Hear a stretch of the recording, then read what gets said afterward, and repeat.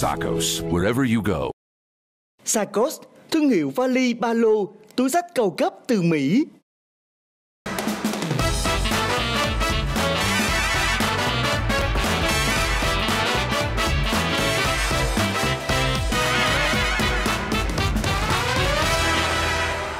Và vòng 3 của chúng ta có tên đó là câu chuyện ngôn ngữ. Vòng 3 với tên câu chuyện ngôn ngữ. Vòng 3 chúng ta sẽ có 3 lượt chơi. Mỗi lượt, người chơi được bốc thăm một tổ hợp âm tiết. Người chơi phải điền dấu thanh để biến chúng trở thành từ có nghĩa. Sau đó, kể tiếp câu chuyện có ý liên kết từ câu mở đầu của chương trình. Mỗi lượt, người chơi có 20 giây để đưa ra đáp án. Nếu sai hoặc không có nghĩa thì bị trừ một điểm. Nếu đúng thì bảo toàn được số điểm. Và trong những vòng thi vừa rồi thì Tia đang có số điểm cao nhất đó là 8 điểm cho nên Tia được quyền quyết định thứ tự thi của các thành viên còn lại. Cho nên là bây giờ bạn chọn ai sẽ là người thi đầu tiên. Em xin phép được uh, lựa chọn theo thứ tự luôn ạ là Thanh Phong rồi đến A Sở đến anh Titi và tới em. Rồi mời các bạn lên lần lượt lên bóc luôn nha.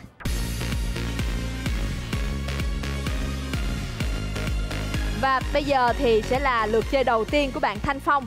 Xin mời. Rồi 20 giây của bạn bắt đầu. Mời bạn uh, suy nghĩ và điền vào uh, dấu thanh nào.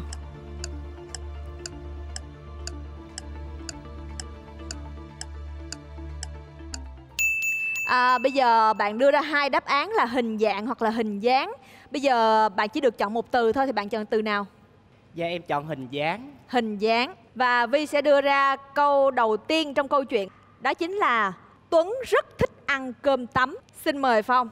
Mỗi ngày Tuấn ăn ba dĩa cơm thôi Thì cái hình dáng của Tuấn nó mập mạp lắm Rồi. Và tiếp theo xin mời Sở. Tổ hợp âm tiết của bạn là 20 giây bắt đầu.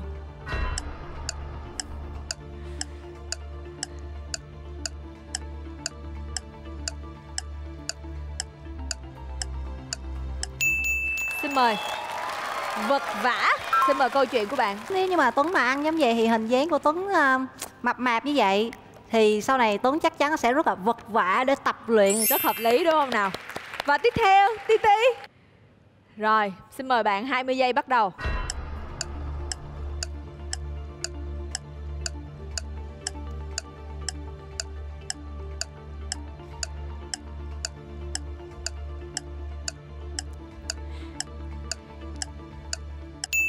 Sóng gió.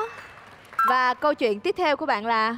Nếu mà không lấy lại vóc dáng Thì sóng gió sẽ ập vào Tuấn Bây giờ xin mời Tia. 20 giây bắt đầu.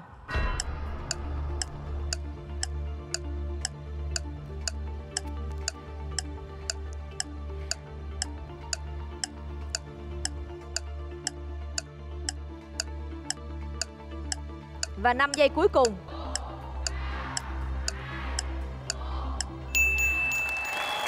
Xin mời Tia. Con dế Xin mời bạn kể tiếp câu chuyện. Tại sao mà Tuấn phải luyện là tại vì ấy, Tuấn rất là thích rapper dế chắc. Và chính vì hâm mộ như vậy cho nên là bạn nuôi một con dế trong phòng để mà có thể cảm giác là mình gần thần tượng hơn. Như vậy thì à, để xem ban cố vấn của chúng ta đã quyết định như thế nào nha. Cái từ vật vã đó nói về à, hai cái nét nghĩa của nó.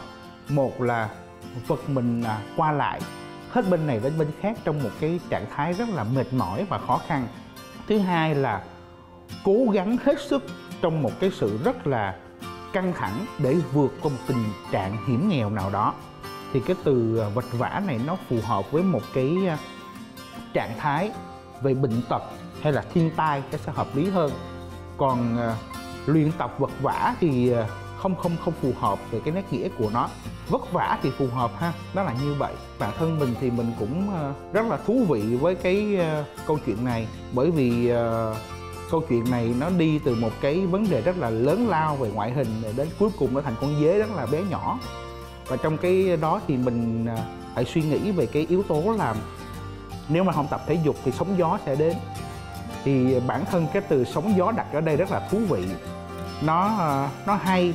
Đó là một cái nét nghĩa ẩn dụ đó và dùng ở đây thì nó khiến cho nhiều người phải ờ, suy nghĩ và chắc phải lên kế hoạch tập thể dục cho mau mau Và sau lượt thi đầu tiên này thì cả bạn Thanh Phong, Titi và Tia đều bảo toàn được số điểm mà rất tiếc bạn Sở sẽ bị trừ một điểm.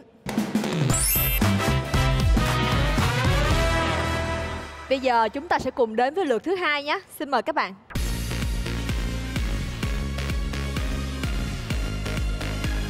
Ta sẽ bắt đầu từ Phong. Xin mời bạn. 20 giây bắt đầu.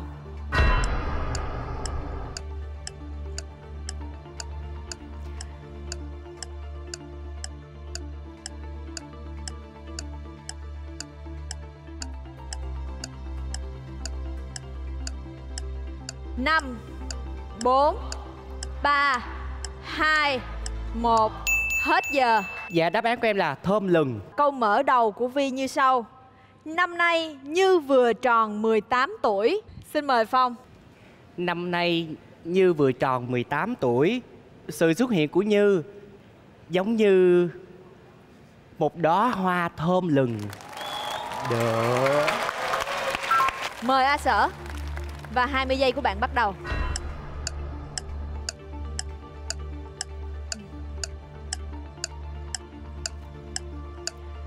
nay Như vừa tròn 18 tuổi.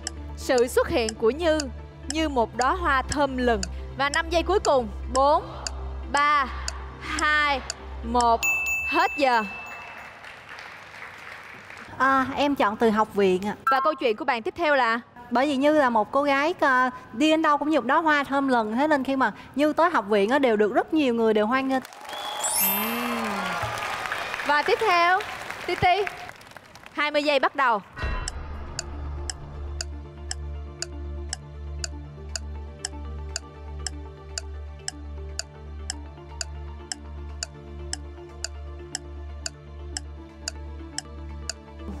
Năm bốn ba hai một Hết giờ.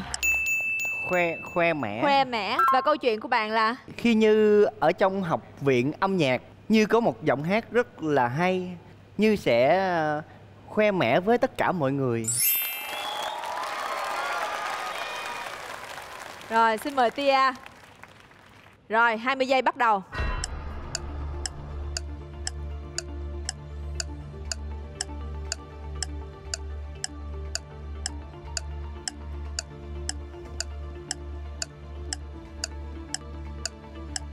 Năm giây cuối cùng.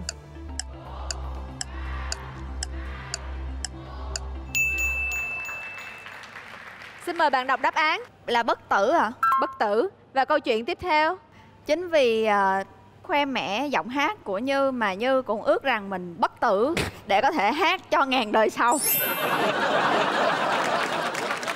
Như vậy thì à, để xem ban cố vấn của chúng ta đã quyết định như thế nào nha. Mình thấy các bạn đặt cái câu rất là thú vị đó. Cái câu này thì bản thân mình không nghĩ được ra đến đó. Ngay trong đó thì mình lưu ý cái từ khoe mẽ các bạn ha ờ, với cái từ khoe mẽ chúng ta không dùng với giọng hát được. Tại vì khoe mẽ là mình đang ờ, phô bày về mặt hình thức bên ngoài. Như vậy thì cái khoe mẽ này nó phù hợp với những cái ờ, trường hợp ngữ cảnh là cố tình chứng tỏ cái sự giàu sang địa vị khả năng của bản thân mà thực ra mình không có được điều đó. Còn bản thân cái cô này hát hay mà đúng không ạ? Thì không thể dùng cái từ ờ, khoe mẽ được nó không phù hợp lắm. Trong ba cái từ này thì mình thấy cái từ học viện là sử dụng hợp lý nhất á. Tại vì nó là một cái từ, nó chỉ một cái nơi có cái chức năng đào tạo và nghiên cứu tương đương với lại một trường đại học hay viện nghiên cứu thì nó phù hợp. Đầu tiên thì với đáp án của Phong đã bảo toàn được số điểm của mình xin chúc mừng. Với từ học viện thì Sở đã bảo toàn được số điểm của mình xin chúc mừng. Từ khoe mẽ có vẻ như là không phù hợp với ngữ cảnh này cho lắm Cho nên là TT cũng đã bị trừ một điểm. Và Tia thì đáp án của bạn tuy là hơi gượng ép một chút xíu Mà thôi, vẫn được chấp nhận bảo toàn được số điểm của mình.